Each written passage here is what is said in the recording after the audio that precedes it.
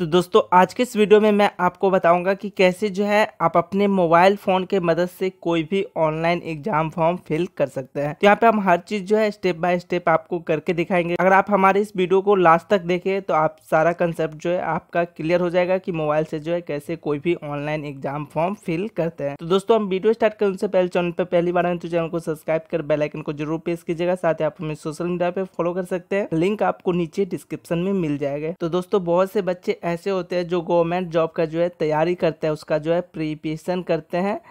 लेकिन जब form fill करने का टाइम आता है तो वो क्या करते हैं, साइबर कैब चाहते हैं। और अगर आप साइबर कैब चाहते हैं तो वहाँ पे आपको जो है, जितना पेमेंट उसमें लगता है उससे ज़्यादा आपको देना पड़ता है। सौ से पचास रुपये के अप्रोक्स ज़्यादा देना पड़ता है। मतलब कि कोई भी फॉर्म का अगर चार्ज दो सौ रुपया है तो वहाँ पे अगर साइबर कैप में वो चीज़ अगर आप करवाने जाते हैं तो आपको टोटल आपको अप्रोक्स जो है 200 का फॉर्म आपको 250 से 300 में वहाँ पे भरवाया जाएगा।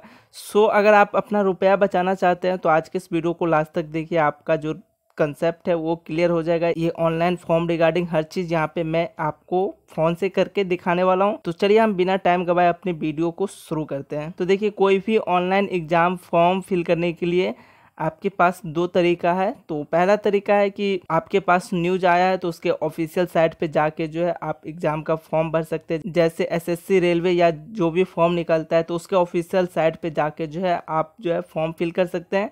लेकिन आप एक साथ जो है ज़्यादा कंपटीशन का तैयारी करते हैं और आपको अपडेट नहीं रहता है और आप जो है उसका ऑफिशियल साइट नहीं पता है आपको तो हम जो है आज के इस वीडियो में आपको ये तरीका बताने जा रहे हैं, जिसके मदद से जो है कोई भी लेटेस्ट जॉब साथ ही उस जॉब को कैसे फिल करेंगे, सारा इन्फॉर्मेशन आज के इस वीडियो में आपको मिल जाएगा। तो इसके लिए आपको सबसे पहले अपने फ़ोन में जो है कोई भी एक ब्राउज़र ओपन कर लेना है। यहाँ से जो है हम क्रोम ब्राउज़र यूज़ कर रहे हैं तो आप भी जो है क्रोम ब्राउज़र यूज़ कीजिएगा, आसानी होगा। तो यहाँ से एक सर्च बार हमारा ओपन हो जाता है, गूगल ओपन होगा तो इसके सर्च बार में आपको सर्च करना होगा, सरकारी रिज़ल्ट। तो यहाँ से आप सरकारी रिज़ल्ट सर्च कीजिएगा, यहाँ से आपके सामने देखिए वैसे बहुत सारे लिंक आएगा। तो आपको जाना है W W dot Sarkari result dot com इस वाले में जाना है। ये आपको पहला या दूसरा नंबर पे ऑप्शन मिलेगा। तो जहाँ पे भी मिले, आपको सिंपली इस पर आ जाना है। ये जो साइट है, ये जो वेबसाइट है, यहाँ से आपको बहुत से इन्फॉर्मेशन मिलते हैं और यहाँ पे हर एक जो अपडेटेड फॉर्म होता है, वो सारा इन्फॉर्मेशन आपको यहाँ पे मिल जाता है। तो या तो उसके ऑफिशियल साइट पे जाके चेक कर सकते हैं। कोई भी जॉब आता है तो नहीं तो आप जो है यहाँ से आप वो सारा इन्फॉर्मेशन अपना पता कर सकते हैं। चलिए साइट को हम यहाँ से ओपन होने दे रहे हैं। तो देखिए, यहाँ पे जो है मेरा साइट ओपन हो चुका है। आपके सामने जो है इस तरह का जो है पेज ओपन हो जाएगा। जब अगर आप ओपन करेंगे तो इसमें आपको जो है देखिए, यहाँ पे तीन कॉलम मिल रहा है सबसे पहले। ऊपर में भी आपको कुछ ऑप्शन मिलता होगा, जो कि न्यू अपडेटेड कुछ अप्लाई हुआ होगा ऑनलाइन अप्लीकेशन आता होगा, वो अप्लीकेशन आपको ऊपर में दिखेगा, लेकिन आपको तीन कॉलम यहाँ पे सबसे पहले मिल रहा है। सबसे पहले में आपको रिज़ल्ट दिखा देगा मतलब कि कोई भी रिज़ल्ट आता है, जैसे आपने एसएससी का एग्ज़ाम दिया तो उसका रिज़ल्ट आता है तो वो आपको इस रिज़ल्ट वाले सेक्शन में दिखाएगा। किसी भी फॉर्म का एडमिट कार्ड आता है, जैसे आप अप्लाई कर दे, उसका एडमिट कार्ड आया तो वो इन्फॉर्मेशन आपको सेकेंड वाले इस कॉलम से मिलता है, और लेटेस्ट जॉब मतलब कि जॉब कौन सी वैकेंसी निकली है, नहीं निकली है, वो सारा इन्फॉर्मेशन आपको लेटेस्ट जॉब में मिलेगा।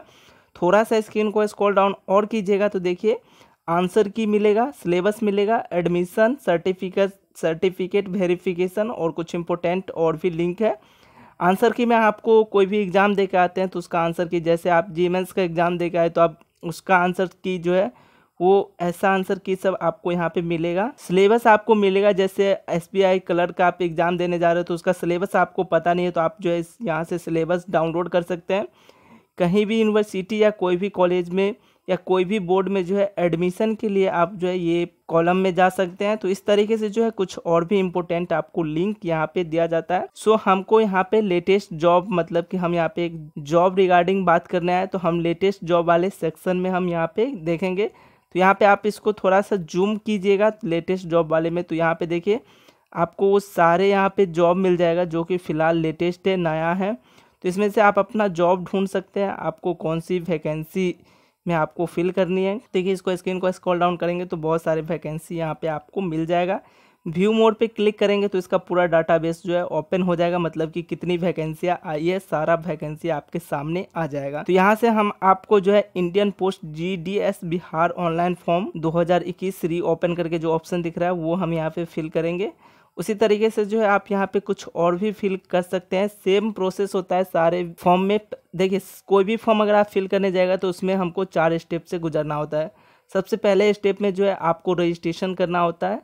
तो रजिस्ट्रेशन करने के लिए आज के इस टाइम में कंपलसरी हो गया आपका मोबाइल नंबर और साथ ही आपका ईमेल एड्रेस ईमेल आईडी उतना कंपलसरी नहीं है, लेकिन जो मोबाइल नंबर है वो हमारा ज़रूरी हो गया है और कई के केस में जो है आधार नंबर भी मांगा जाता है। तो सबसे पहले आपको कोई भी एग्ज़ाम का फॉर्म फिल करने जाएगा चाहे वो एसएससी का हो या रेलवे का हो या कोई भी एग्ज़ाम का फॉर्म फिल करने जाएँगे। तो सबसे पहले आपको रजिस्ट्रेशन करना होता है। उसके बाद लॉगिन करना होता है। सेकेंड स्टेप में आपको जो अपना यूज़र आईडी मिलेगा और जो आपको पासवर्ड मिलेगा, उससे आपको लॉगिन करना होता है। तीसरे स्टेप में हमको क्या करना है? जब हम लॉगिन कर लेंगे तो हमको अपना सारा डॉक्यूमेंट जो है स्कैन करके डालना होता है, जिसमें हम अपना फ़ोटो मार्कशीट हमारा नाम, ये सब जो है टाइप करके फादर्स नेम एड्रेस ये सब बहुत सी इन्फॉर्मेशन जो बेसिक इन्फॉर्मेशन है, जिसमें आपका क्वालिफिकेशन आपका अगर एक्सपीरियंस है तो वो, ये सब इन्फॉर्मेशन आपको फिल करना होता है। ये हमारा तीसरा नंबर स्टेप है, जिसमें हम अपना इन्फॉर्मेशन फिल करते हैं। और चौथा एंड सबसे लास्ट स्टेप में क्या होता है, कोई भी फॉर्म अगर आप फिल करने जाएँगे तो उसमें आपको ऑनलाइन पेमेंट करना पड़ता है, जहाँ पे आपको पे करना पड़ता है। ये हर एक के केस में रहता है, किसी किसी के केस में नहीं भी रहता है। कई ऐसे भी वैकेंसी निकलती है, जो बिल्कुल फ्री में रहती है, या जो S C S T category के जो ऑप्शन आते हैं, वहाँ पे कई ऐसी भी वैकेंसी है, जो कि आपको फ्री रहता है। तो वहाँ पे आपको किसी भी तरह का पे पेमेंट करना नहीं पड़ता है। तो लास्ट में अगर आपको पेमेंट करना होता है तो पेमेंट करके आपके सामने जो है पीडीएफ ओपन हो जाएगा। उस पीडीएफ को आपको प्रिंट करना है। कैसे ये सब प्रोसेस करेंगे, हम हर चीज़ जो है, आगे आपको बताने वाले हैं। सो बने रहिए हमारे साथ। हो सकता है, देखिए, यहाँ पे जो मैंने स्टेप बताया है, ये स्टेप आगे पीछे हो जाए। मतलब कि जो हमारा पेमेंट वाला ऑप्शन है, वो थर्ड नंबर पे आ जाए। लेकिन ये चार स्टेप जो है हर एक के कंसेप्ट में होता है। सबसे पहला तो आपको रजिस्ट्रेशन तो हर एक में करना है।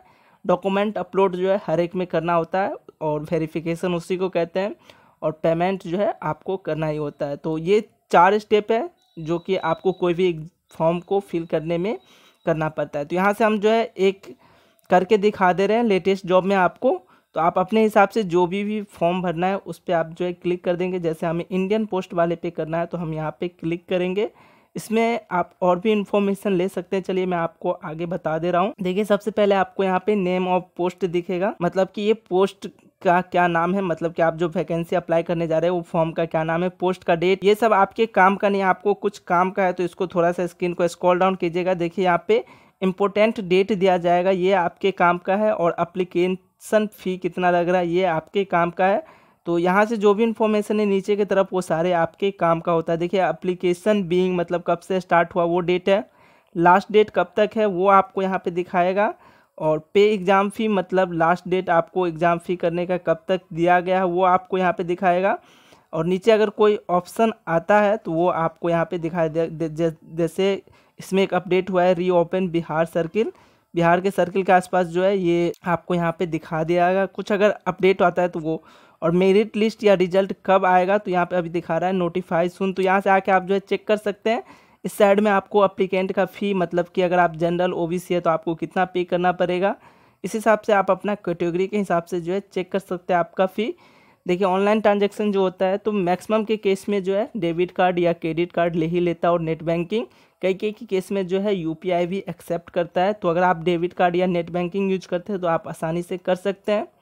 और अगर आपके पास डेबिट कार्ड है और आपको पता नहीं है मतलब कि आपके पास एटीएम कार्ड है, आपको पता नहीं है कैसे हम पेमेंट करते हैं तो मैं लिंक मैं नीचे डिस्क्रिप्शन में दे दूँगा, वहाँ से जाके आप जो है आगे सीख सकते हैं कैसे हम उससे पेमेंट करते हैं।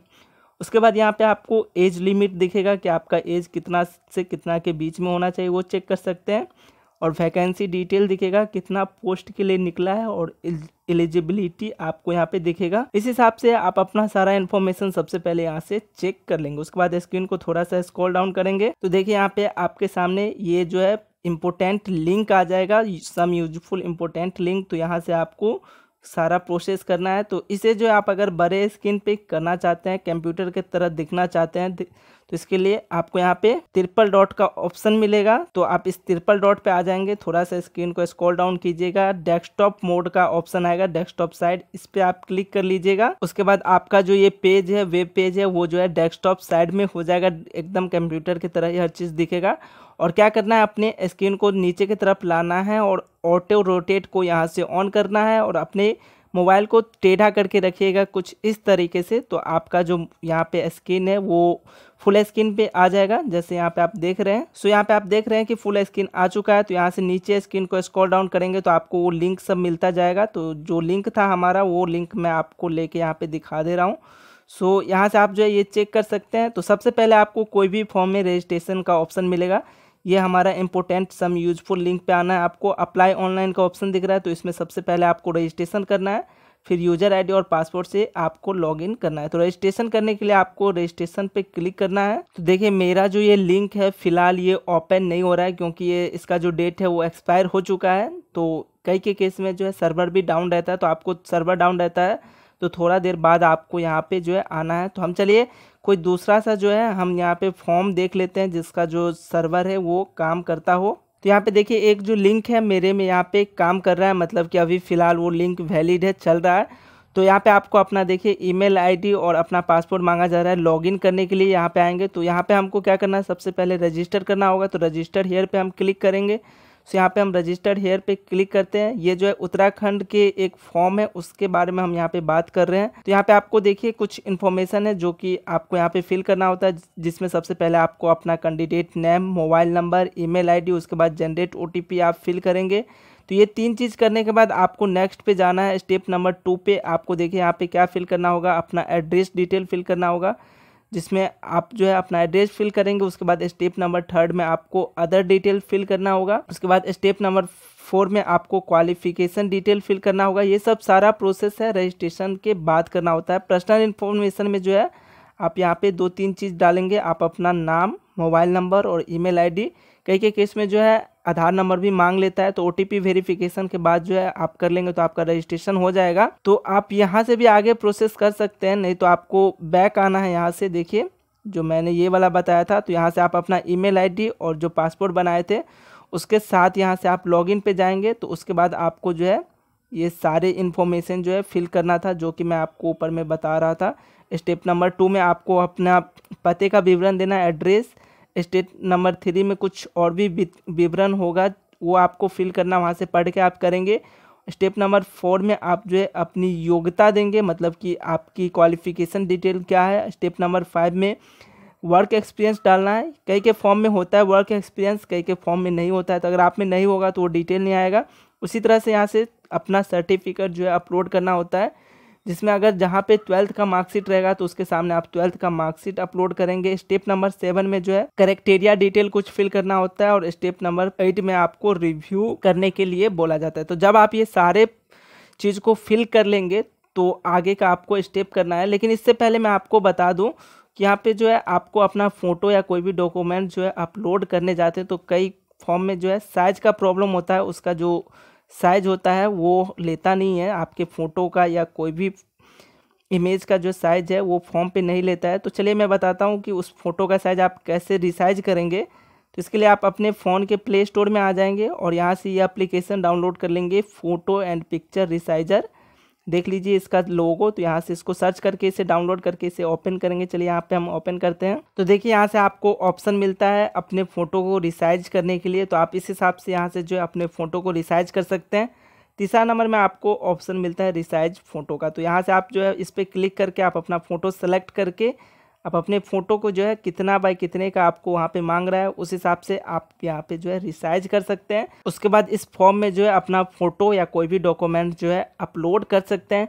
जब आप अपना डॉक्यूमेंट और फ़ोटो सब सारा कुछ अपलोड कर देंगे तो नेक्स्ट ऑप्शन आएगा आपको पेमेंट करने का, जहाँ पर आपको जो है नेट बैंकिंग या डेबिट कार्ड या यूपीआई भी कहीं पे एक्सेप्ट करता है तो उसके मदद से जो है आप कर सकते हैं। अगर आप डेबिट कार्ड से करना चाहते हैं तो आपको लिंक मैं नीचे डिस्क्रिप्शन में दे दूँगा, वहाँ से जाके चेक कर सकते हैं। जब आप अपना पेमेंट कर देंगे और सक्सेसफुली आपका पेमेंट हो जाता है तो सबसे लास्ट में आपके सामने एक पीडीएफ आ जाएगा, या आपके स्क्रीन पे एक जो है पेज ओपन हो जाएगा तो आपको क्या करना है? या तो उसे जो है पीडीएफ आएगा तो उसे सेव करके रख लेना है, नहीं तो वो स्क्रीन पे आएगा तो उसे स्क्रीन शॉट लेके आपको किसी भी साइबर कैफ में जाके आप उसे जो है प्रिंट आउट करवा लेंगे। तो इस तरीके से जो है आप कोई भी फॉर्म अपने फ़ोन के मदद से भर सकते हैं और अपना रुपया बचा सकते हैं। कोई डाउट है वीडियो में, कहीं पे भी कुछ डाउट रह जाता है तो आप हमसे कमेंट करके पूछ सकते हैं। ऐसी वीडियो के लिए आप हमारे चैनल के साथ जुड़ सकते हैं सब्सक्राइब कर सकते हैं। चलिए हमें दीजिए थोड़ा सा समय, हम मिलते हैं नेक्स्ट वीडियो में बहुत ही जल्द।